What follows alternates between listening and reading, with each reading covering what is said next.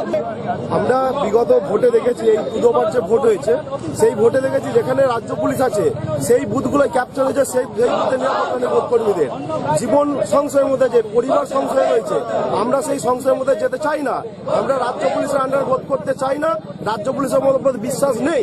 আমরা কেন্দ্র বাহিনী থাকলে তবে ভোট করতে যাব। যদি কেন্দ্র বাহিনী না দিতে পারে একশো বুথে, আমরা ভোট করতে যাব না। এটা সমস্ত ভোট কর্মী আমরা ঐক্যবদ্ধ হয়েছি।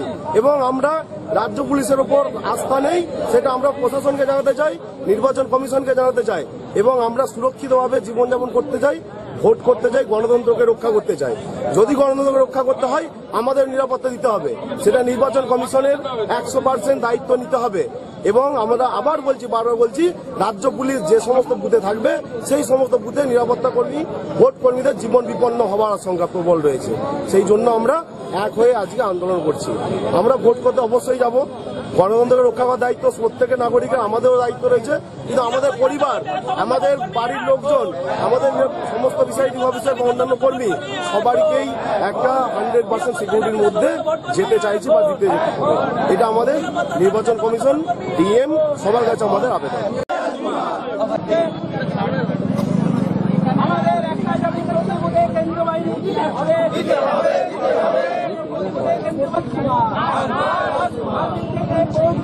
আর না রাজকুমার গণতন্ত্রকে বাঁচতে দিন আমাদেরও বাঁচতে দিন গণতন্ত্রকে বাঁচতে দিন আমাদেরও বাঁচতে দিন আমরা নিষ্ঠার সঙ্গে ভোট করতে চাই যদি আমাদের নিরাপত্তাটা সুনিশ্চিত থাকে। কিন্তু বিগা- বিগত নির্বাচনের অভিজ্ঞতা থেকে বুঝেছি যে সশস্ত্র পুলিশ, রাজ্য পুলিশ তারা নিরাপত্তা দিতে পারেনি। আমরা তিক্ত অভিজ্ঞতা নিয়ে সেখান থেকে এসেছি। বিশেষ করে আমাদের ভোটকর্মী শ্রদ্ধেয় রাজকুমার রায় যেভাবে মারা গেলেন, যেভাবে হত্যা হয়েছে, সেটা আমরা পরবর্তীকালে শুনেছি। বিশেষ করে তার মৃত্যুর পরে তার পরিবারের যে অসহায় অবস্থা, সেটাও আমরা দেখেছি। এই কারণে আমরা আজকে এই এই যে ট্রেনিং সেই ট্রেনিং বয়কট করতে চাই যদি না সুনিশ্চিত নিরাপত্তার কথা বলা হয়। আমাদের এটা জোরদার দাবি হবে। যদি আমরা না একশো শতাংশ বুথে যদি আমরা না নিরাপত্তা পাই, কেন্দ্রীয় বাহিনী পাই তাহলে আমরা ভোট করতে যাব না। এই দাবিটা আমাদের জোরদার হবে। আমাদের দেখতে পাচ্ছেন যে এতটা জমায়েত হয়েছে, সমস্ত ভোট কর্মী আছেন এবং আরও জমায়েত হবেন।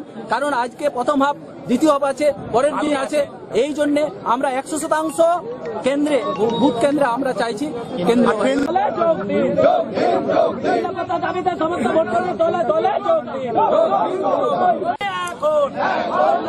কেন্দ্রীয় বাহিনী না পেলে ভোট করতে যাচ্ছি না যাব না কেন্দ্রীয় বাহিনী না পেলে ভোট করতে কেন্দ্রীয় বাহিনী না পেলে ভোট করতে যাচ্ছি না যাব না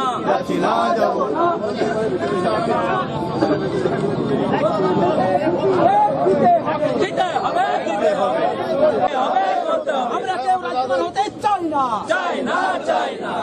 থেকে কোচবিহার চাই না হতে? রাজকুমার। চাই না হতে রাজকুমার। ওনাদের স্মারকলিপি দিয়েছে আমরা যথাযথ জায়গায় পৌঁছে দিচ্ছি। ওনাদের দাবি যেটা আছে সেটা যে দেখা হয় সেটা দেখার চেষ্টা করছি। ওনারা এবার দাবি হয়ে গেছেন এবং ওনারা ট্রেনিং আমাদের শুরু হয়ে গেছে। ওনারা এবার অ্যাটেন্ডেন্স দিয়ে আবার ট্রেনিং শুরু। আর যেটা বলেছি ওনাদের দাবি আমরা উদ্বোধন কর্তৃপক্ষকে পাঠাচ্ছি। সেখানে জানাচ্ছি।